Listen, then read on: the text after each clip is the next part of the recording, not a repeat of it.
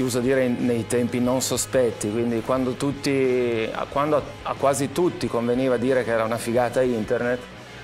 per quanto riguardava eh, l'idea di poter divulgare la propria musica, io sono sempre stato un po' eh,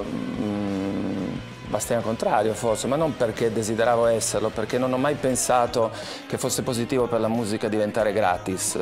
Eh, anche soltanto per il fatto che mi ero fatto così tanto culo per certo. cercare di essere musicista rock in Italia, che è una delle avventure più